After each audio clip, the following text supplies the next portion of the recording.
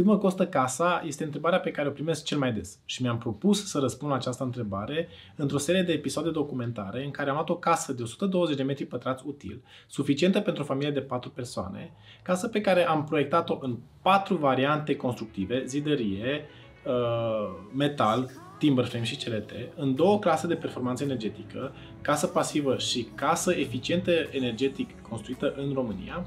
Și am făcut o analiză de buget pe uh, aceste 8 configurații.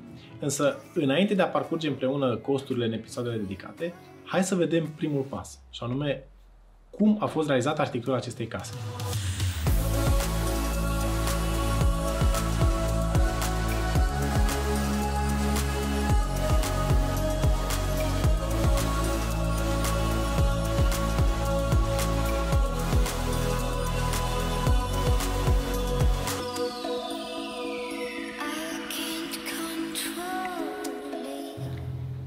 Comunicarea sinceră și deschisă este cheia proiectului.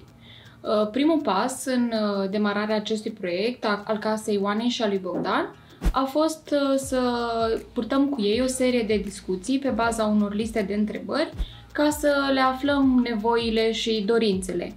Încă de la început am observat că între noi și ei există o chimie, că ne placem reciproc și astfel am hotărât împreună să continuăm proiectul. Uh, am acceptat cu bucurie invitația lor de a vedea locul în care stau, de a vedea ceea ce le place și poate ceea ce îi nemulțumește în apartament. Uh, mergând acolo, am văzut că este un spațiu mic, uh, cu o cameră și o bucătărie deschisă spre hol, însă ei sunt foarte ordonați și meticuloși în a-și organiza lucrurile și acest spațiu uh, nu era atât de sufocant. Um, am văzut că le place foarte mult să gătească pentru prieteni și pentru cunoscuți, însă acel spațiu nu era ofertant pentru acest lucru. Uh, ca proiecție de viitor, ei doresc să își întemeieze o familie și să aibă doi copii, iar uh, apartamentul cu o singură cameră nu făcea posibilă această opțiune a lor pentru viitor. Uh, după ce am discutat cu ei și um, uh, ne-au arătat apartamentul în care trăiesc, ne-au spus ce dorințe și ce nevoi au pentru că își doresc uh, doi copii, au nevoie de trei dormitoare. Ei au nevoie de intimitate și din acest motiv uh, au nevoie de un dormitor matrimonial în care să aibă și baia proprie, dar și un dressing uh, deschis. Pe lângă dormitoare, Bogdan a transmis dorința lui de a lucra și de acasă și din acest motiv avea nevoie de un birou într-o zonă liniștită a casei iar pentru că sunt sociabil și că și-ar dori să-i, să invite mulți prieteni, uh, vreau un living uh, uh, destul de generos ca spațiu, cu o bucătărie deschisă, astfel încât ei să poată des- găti, dar și vorbi cu invitații. Nevoia lor de intimitate ca părinți a dus la realizarea unei băi separate față de baia copiilor, iar uh, la pater am uh, propus uh, o baie mai micuță de serviciu, potrivită și pentru invitați. În orice caz, este nevoie de un spațiu tehnic în care sunt amplasate toate instalațiile necesare unei case. Bogdan și Oana nu și-au dorit un subsol, nu și-au dorit garaj și pivniță, deoarece erau conștienți că um, aceste elemente cresc costul casei. Fiecare metru pătrat util uh, costă, atât uh, pentru a-l uh, construi, dar cât și pentru a-l întreține, pentru a-l încălzi. Din acest motiv, primul pas pentru optimizarea bugetului a fost eficientizarea spațiilor și a, relațiile dintre, a relațiilor dintre ele. Iar apoi, pentru a reduce costurile Uh, facturilor. Um, am introdus în tema de proiectare și uh, ideea de a realiza o casă eficientă energetic, o casă pasivă. După ce am înțeles nevoile și dorințele lor, am mers împreună pe teren pentru că ei deja aveau uh, achiziționat un teren în apropierea orașului Iași, un teren destul de generos de 1000 de metri pătrați. Uh, odată ajuns acolo, le-am cerut și actele necesare demarării proiectului. uh, extrasul de carte funciară pentru a vedea cu exactitate proprietățile și suprafața terenului, um, certificatul de urbanism, de informare pentru a vedea dacă sunt restricții legislative, dacă funcțiunile pe care le doreau ei se pretau pe teren, pentru a vedea retragerile față de limita de proprietate, aliniamentele, dacă existau rețele de utilități pe subteren uh, și uh, le-am mai cerut uh, ridicarea topo, în care am putut vedea panta terenului, orientare exactă față de punctele cardinale, o mapare 3D a punctelor de ridicare.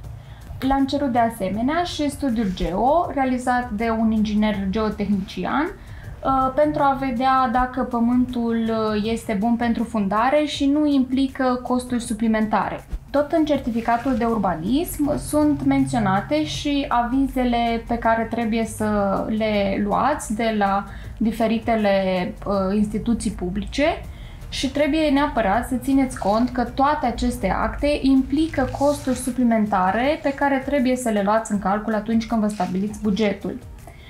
În cazul în care nu aveți un teren deja achiziționat, vă sfătuim să consultați un arhitect pentru că el vă poate îndruma către toate instituțiile specializate ca să aflați uh, tot ce este necesar înaintea demarării proiectului de arhitectură. Tot pe teren am văzut că ei nu au în apropiere gaz, curent uh, sau alte utilități publice și uh, i-am uh, sfătuit să ia în calcul și costurile unor branșamente sau al împrejmuirii terenului. După ce am văzut actele și am văzut terenul, uh, ne-am dat seama că nu există probleme uh, speciale pe acest teren.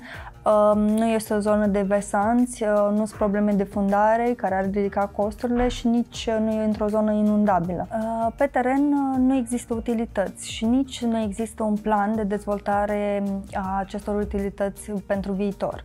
Uh, din acest motiv, uh, în casa trebuia să fie încălzită uh, pe bază de electricitate și pentru a avea un randament cât mai bun al acestui, acestui tip de încălzire, noi le-am propus o casă eficientă energetic, o casă pasivă. În uh, următoarea etapă a fost poziționarea casei pe sit, care a ținut cont de uh, perspectivele spre care se poate uh, poziționa casa, spre care se poate uh, deschide această casă și uh, dar și de vecinătăți, dar și de uh, accesul pe teren și uh, punctele cardinale. În acest studiu de amplasare a casei pe sit am ținut cont și de posibilitatea aparițiilor unor construcții pe terenul învecinate care ar putea umbri casa și am ajuns la o poziție finală a casei. După ce am văzut nevoile și dorințele lor, particularitățile și restricțiile pe care ni le impune terenul, am stabilit o nouă întâlnire pentru a afla aspectul casei și ceea ce le place sau nu le place. Bogdan și Oana ne-au spus că își doresc o casă minimalistă, modernă, însă aflată într-o zonă rurală. Noi le-am pregătit o serie de imagini ce îndeplinesc aceste criterii și am stabilit foarte clar ceea ce le place și ceea ce nu le place. Toate aceste informații le-am însumat în tema de proiectare, un document care stă la baza proiectării de aici încolo. Uh, pentru că am avut uh, tema de proiectare și pentru că din discuție am înțeles uh, personalitatea Oanei și a lui Bogdan, uh, am început să creionăm povestea casei. Uh, acea, acel element care se concretizează prin concept. Uh, modul Oanei și a lui Bogdan de a se completa, de a-și vorbi, de a uh, comunica cu restul lumii uh, ne-a inspirat. Uh, le-am prezentat uh, trei variante, trei schițe uh, diferite, dar care au pornit de la aceeași idee. Uh, două volume care parcă se îmbrățișeze, care par să se prote- protejeze. Din uh, tema de proiectare am concis că um, vor o casă eficientă energetic, o casă pasivă și din acest motiv um, am uh, realizat o volumetrie cât mai compactă. Ei, um, când le-am prezentat cele trei variante, ei au, și-au imaginat cum ar fi să locuiască în cele trei case și au rezonat cu una dintre ele. Celelalte două variante nu răspundeau 100% nevoilor și dorințele lor. Varianta aleasă de Bogdan și Oana uh, este varianta care li se potrivește cel mai bine. Arhitectura este un uh, proces creativ care este foarte subiectiv și uh, poate suferi modificări, iar uh, produsul final, casa, este rezultatul comunicării dintre beneficiar și arhitect. Chiar dacă casa este a ta și te reprezintă, ea se află într-o așezare, într-o comunitate. Ca atunci când mergi la o petrecere în hainele nepotrivite sau mergi la picnic în costum. Casa trebuie să fie în armonie cu toate celelalte construcții din jur. De aceea, atunci când Oana și Bogdan au spus că vor o casă modernă, însă aflată într-o zonă rurală, noi ne-am gândit să includem cerdacul sau pridvorul, acel element din arhitectura tradițională reinterpretat. Pergola de lemn din uh, fața intrării face legătura între spațiul exterior, grădina generoasă și spațiul interior de întâlnire a întregii familii. Terenul se află într-o zonă încă neconstruită și am avut astfel uh, posibilitatea de a ne juca cu formele și materialele. Ei doresc să folosească panouri solare pentru a-și încălzi casa și de asemenea vor să le amplaseze pe acoperiș pentru a folosi grădina uh, în scopul de a-și cultiva propriile alimente. Din acest motiv am folosit volumetrii de tip A cu un acoperiș înclinat la 45 de grade. Uh, această înclinație a șarpantei ne oferă posibilitatea de a folosi la maxim uh, și de a da randament panourilor solare. Pentru că volumetria de tip A poate fi rigidă uneori, am uh, ales ca primul contact cu casa să fie unul cât mai plăcut și astfel în zonele ușor accesibile am placat fațada cu lemn, care este un material cald și natural. Lumina este foarte importantă în arhitectură. Uh, ea este un element cheie în a oferi um, o stare de confort, dar um, uh, și a da o stare de bine, dar și a aduce aport uh, de căldură în casă. Deodată cu lumina primim și energie și um, în urma analizei eficienței energetice a casei am uh, poziționat suprafețele vitrate mai mari înspre sud, uh, am evitat uh, a realiza ferestre înspre partea de nord, uh, iar uh, înspre est și vest, uh, dimensionarea ferestrelor a fost uh, direcționată uh, de necesitatea luminii și a căldurii pentru fiecare spațiu. Pentru a avea un echilibru între volumetria casei și funcțiunile interioare, am uh, ținut cont și de orientarea cardinală. Pentru a evita supraîncălzirea în bucătărie, ă, cauzată de gătit sau de soare, am decis ca ea să fie amplasată pe nord-est. În legătură directă cu bucătăria se află terasa pentru mesele în aer liber. Acest loc va fi folosit cu precădere după amiaza și astfel casa va ține umbră în acea zonă și va crea atmosfera relaxată. Când ajungi acasă, trebuie să știi că ai ajuns acasă și că aparții acelui spațiu. De aceea, încă de la început, de afară, livingul este prezent și te invită să te relaxezi. Panta terenului ne-a oferit posibilitatea de a accentua înălțimea zonei de familii și tavanul înalt al livingului uh, creează posibilitatea soarelui de iarnă să parcurgă întregul spațiu. În același timp, datorită configurației acoperișului, soarele de vară este blocat și toată zona este în umbră. Tot pentru a evita supraîncălzirea uh, pe timp de vară, pe, în apropierea fațadelor de sud-vest, am propus plantarea unor copaci cu frunze căzătoare, uh, copaci a căror specie va fi uh, definită de către un arhitect peisagist. Intrarea în casă are legătură directă cu toate celelalte funcțiuni, însă pentru un plus de eficiență energetică am propus închiderea holului într-un vestibul. Am vrut să diferențiem partea liniștită a casei de restul spațiilor, astfel încât uh, uh, biroul care se află la parter și dormitoarele copiilor uh, se, uh, au fost orientate spre vest, pentru că ele sunt utilizate cu pregădere după amiaza și uh, ei se pot bucura de soarele de apus. Um, dormitorul matrimonial, în schimb, este poziționat uh, pe partea estică, deoarece um, am vrut ca părinții să se bucure de primele raze ale soarelui uh, și să capete energie. Încă de la faza de concept, uh, noi am găsit pentru fiecare spațiu o utilitate, am propus o mobilare și uh, ne-am gândit la o relaționare între spații. În schimb, uh, trebuie să ținem cont că amenajarea de interior este un proiect separat cu un buget separat. Casa proiectată trebuie să te reprezinte, să fie a ta. De aceea nouă ne place să ne denumim casele după personalitatea beneficiarilor.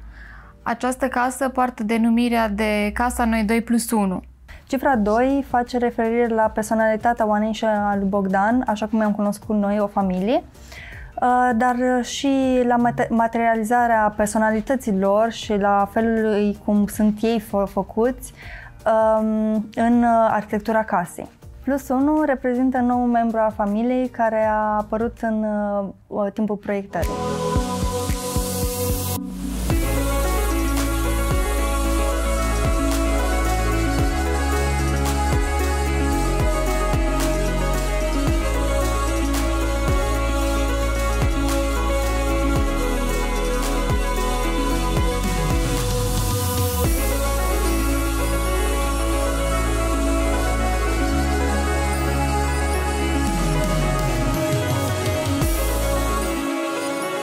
Acum că ai văzut cum a prins contur casa și care au fost pașii prin care s-a creat arhitectura casei, te invit mai departe în episoadele dedicate analizelor de costuri. Analize pe care le-am făcut reproiectând casa în cele patru variante de structură, cu cele două clase de eficiență energetică, din care am scos cantități, cantități pe care le-am trimis mai departe la ofertat, am centralizat ofertele și despre fiecare sistem constructiv uh, în parte este vorba în episoadele următoare.